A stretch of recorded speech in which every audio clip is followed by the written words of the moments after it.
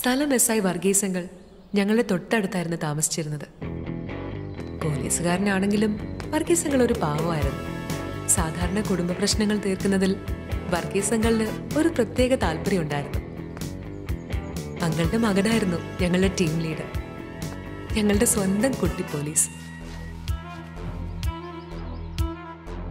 ഇരിക്ക്. വേണ്ട സാർ ഞാൻ നിന്നോളാം. ഇതെന്താ പോലീസ് സ്റ്റേഷനോ നിൽക്കാൻ ഒരു കാര്യത്തിലും നിങ്ങൾ തമ്മിൽ ഒരു ഐക്യമില്ലല്ലേ? എന്താണ് നിന്റെ പേര്? ദേവ് ഇവിടെ? ദേവി. ദേവനും ദേവി. എന്നിട്ട് വീട്ടിൽ ദേവാസുര യുദ്ധമാണെന്നുണ്ടോ നാട്ടുകാർ പറയുന്നു നീ ഇന്നലെ ഇവിടെ തല്ലിയോ? തല്ലി സർ. എന്റെ പുറത്തിട്ട് രണ്ട് തല്ലും എന്റെ കൈ പിടിച്ച് തിരിക്കുകയും ചെയ്തു സർ.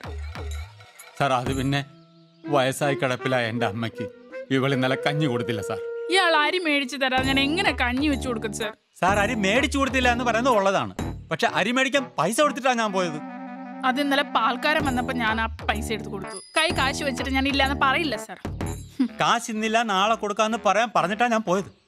സാർ ഞാൻ കള്ളം പറയാറില്ല. എന്റെ കുടുംബത്തിൽ ആരും കള്ളം പറയാറില്ല സാർ സാർ ഇവളുടെ ചേട്ടൻ കോടതിയിൽ കള്ളസാക്ഷി പറഞ്ഞതിന്റെ പേരിൽ കേസുള്ളവനാണ് സാർ അത് പിന്നെ ജഡ്ജിക്ക് എന്തെങ്കിലും മുൻവൈരാഗ്യം ഉണ്ടായിട്ടായിരുന്നു ഒരു ജഡ്ജിക്ക് ഒരു ആക്രി കുടുംബത്തിൽ എന്ത് മുൻവൈരാഗ്യം?